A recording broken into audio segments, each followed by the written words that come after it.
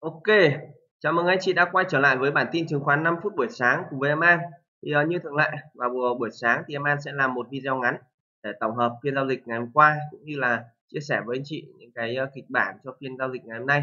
Uh, thì trước khi mà đi vào uh, nội dung của chương trình thì anh chị mình đang xem video, mọi người có thể ủng hộ cho em An xin một like, một subscribe kênh cũng như là một quả tim ở dưới phần bình luận anh chị nhé. Uh, cảm ơn anh chị rất là nhiều. Rồi chúng ta sẽ đi vào phần đầu tiên tổng quan phiên giao dịch ngày hôm nay à, ngày hôm qua. Thì anh chị thấy hôm qua index chúng ta tăng 1,77 điểm. Đóng cửa mức là 1179,76 điểm. Chúng ta có 200 mã tăng và 276 mã giảm. Ở VN30 cũng tương tự tăng nhẹ thôi tăng 0,22 điểm. Và có 18 mã tăng 11 mã giảm. Ờ, ở HN Index và Upcom cũng uh, giữ được cái sắc xanh.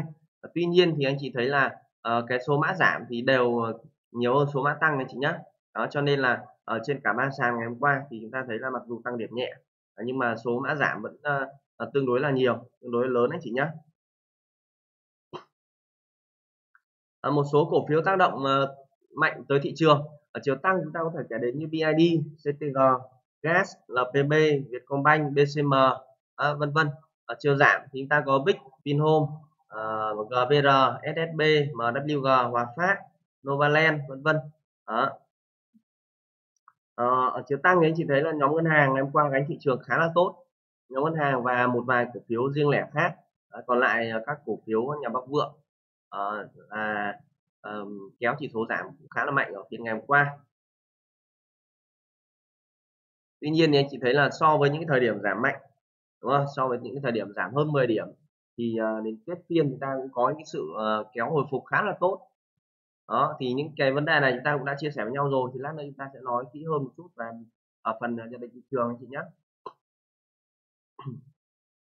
đây chúng ta điểm qua một chút về chuyển động của tổ chức. Đó, hôm qua thì ờ, khối ngoại tiếp tục mua dòng đấy chị nhé tiếp tục mua dòng 374 tỷ. Đó và ngày hôm qua thì mua khá nhiều mua VIX mua FPT Vinamilk CTG VRE bán thì bán SDI nhiều nhất.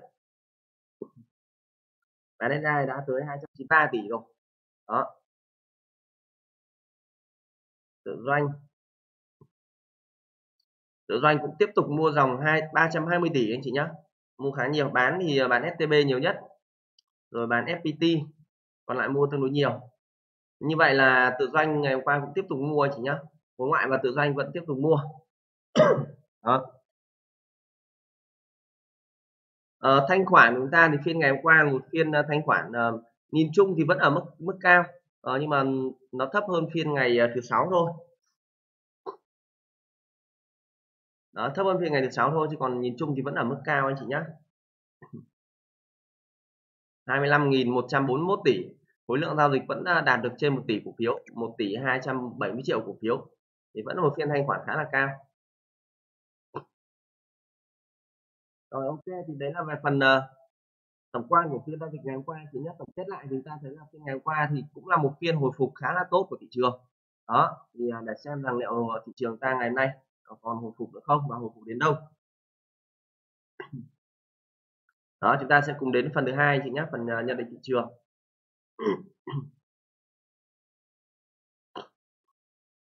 Đây. Uh, ở trong khung đồ thị daily thì anh chị thấy là ở bên đây chúng ta đang có một phiên chứng lại.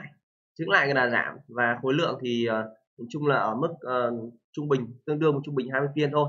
Uh, tuy nhiên thì về cái trạng thái chị nhá về trạng thái thì Vindex chúng ta vẫn đang một trạng thái giảm tương đối mạnh. Đó mọi người lưu ý trong khung daily giúp em nhé. Vẫn là một trạng thái giảm tương đối mạnh. Và hiện tại thì chỉ số chúng ta vẫn đang ở những vùng khá là lưng chừng.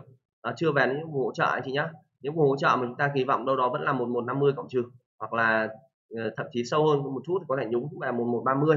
Đó thì em nghĩ đây là những vùng hỗ trợ rất là mạnh rồi. Đó, và đây là một cái cơ hội rất lớn cho anh chị nhé. Một cái cơ hội rất là lớn cho anh chị nào chưa có tiền à chưa chưa chưa có hàng thì ờ, chúng ta sẽ tận dụng những nhịp ờ, điều chỉnh này. Chị nhé à, còn ở trong khung ngắn hơn ta điểm qua một chút ở trong khung H1 trong khung H1 thì hiện tại chúng ta vẫn đang có tín hiệu khách sạn anh chị nhá. À, chúng ta đã chia sẻ rồi đúng không? À, đến khoảng 2 giờ chiều ngày hôm nay thì chúng chúng ta vẫn có tín hiệu có khách sạn kéo hồi lên vùng 1200 cộng trừ nhé chị nhé hôm qua thì có một nhịp kéo lên 1188 rồi cũng khá là tích cực đó tuy nhiên thì uh, ngày hôm nay chúng ta vẫn có thể kỳ vọng một phiên à, có thể kéo hồi phục lên vùng à, uh, 1200 cộng trừ anh chị nhé uh, và khi mà kéo hồi phục lên những vùng trên này thì uh, cơ bản là vẫn để cho những anh chị nào mà đang bị kẹp hàng thì mọi người có thể cân nhắc uh, cơ cấu danh mục thôi. Cơ cấu tài khoản về cái mức nó cân đối anh chị nhé để chờ một cái nhịp điều chỉnh xuống vùng bên dưới. Uh, 1150 cộng trừ thì chúng ta sẽ mua được với những cái vùng giá tốt hơn anh chị nhé đó. Đấy là trong khung H1 uh, trong những khung ngắn hơn một chút chúng ta thử điểm qua khung 15 phút xem. Khung 15 phút thì vẫn đang uh, tích lũy trên vùng uh, cân bạc thì uh, nhìn chung là chúng ta vẫn có cơ hội. Anh chị nhé vẫn có cơ hội uh, lên đâu đó những vùng 1200 cộng trừ ở trong phiên ngày hôm nay. Đó. Vùng hỗ trợ trong ngắn hạn là 1176 và đáy cũ của của thị trường phiên ngày thứ sáu à, phiên ngày hôm hôm hôm nay à, hôm qua sorry. 1165 đúng không ạ? Tái cũ nếu mất uh, nếu mà mất 1165 thì uh, chúng ta sẽ có những target 1150 cộng trừ anh chị nhé đó, 1150 cộng trừ. À, tuy nhiên thì uh, cái cơ hội mà thị trường ta hồi phục lên đến vùng uh, 1200 cộng trừ là vẫn đang có nhé anh chị nhé đang có. Đặc biệt là trong uh, trong uh, khoảng tầm 2 tiếng đầu buổi sáng. 2 tiếng đầu buổi sáng. 2 đến 3 tiếng đầu buổi sáng anh chị nhé thì vẫn là có cơ hội. Đó thì à, đấy là về kịch bản chúng ta. Thì uh, hành động. Đó, kịch bản xong rồi chúng ta sẽ đến hành động. Thì uh, với anh chị nào đang nắm giữ cổ phiếu với tỷ trọng à, với cái uh, giá vốn thấp thì anh chị vẫn cứ tiếp tục nắm giữ cho em. À, còn anh chị nào muốn lướt lát thì canh hồi phục lên vùng uh, 1200 uh, 1200 cộng trừ thì có thể hạ bớt tầm tầm 3 phần trăm. Nếu anh chị nào chưa hạ à, và đợi chỉnh xuống những vùng bên dưới chúng ta mua chúng ta mua lại. Đấy còn anh chị nào mà uh, có vị thế không được tốt thì khi mà hồi phục lên vùng 1200 thì cũng phải cơ cấu danh mục đi.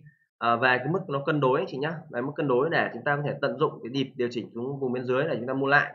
Đó cũng như là uh, quản trị cái rủi ro đã đúng không? Quản trị rủi ro đã. Đó thì uh, đấy là với anh với những chị mà đang cầm hàng.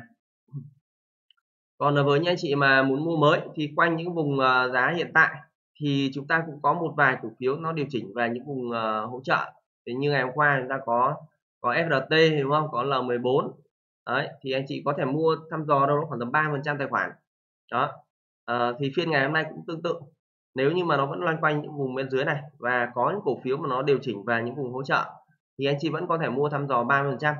Đó mọi người lưu ý giúp em là mua thăm dò 30 phần trăm thôi. Còn lại mua mới thì chúng ta sẽ cần phải đợi những nhịp mà nó test đáy. Uh, test những vùng không phải test đáy mà cần phải đợi những nhịp mà nó điều chỉnh vào những vùng hỗ trợ đó những vùng đâu đó một một năm mươi cộng trừ là những vùng mà chúng ta bắt đầu có thể làm giải ngân mạnh hơn nhá bắt đầu có thể giải ngân mạnh hơn đó. Rồi ok thì ờ, à, đấy là về phần ờ, nhận định thị trường cũng như là hành động của anh chị ờ, nhà đầu tư. À, với những anh chị nào mà à, chưa có hàng thì mọi người có thể đẩy đến những nhóm ngành như là uh, chứng khoán như là bất động sản như là thép đúng không ạ? Và uh, nhóm bán lẻ chẳng hạn. Đó đầu tư công. Đấy là những cái nhóm ngành mà anh chị có thể đẩy trong thời trong những cái phiên tới anh chị nhé trong những cái cơ hội uh, khi mà Vindex nó điều chỉnh. Đó. Thì anh chị có thể tập trung vào những nhóm ngành đấy nhé và nếu như anh chị chưa biết mua cổ phiếu nào thì anh chị hãy liên hệ với em An thật sớm để chúng ta có thể là đồng hành em An có thể hỗ trợ anh chị trong quá trình đầu tư. À, anh chị chỉ cần có một tài khoản VPS với ID Q341 của em An và có phát sinh giao dịch thì chúng ta sẽ cùng đồng hành với nhau anh chị nhé rồi ok. Uh, chắc là em An xin phép kết thúc video ở đây. Uh, xin chào và chúc anh chị có một cái phiên giao dịch thật là tốt và hiệu quả anh chị nhé. Xin chào và hẹn gặp lại.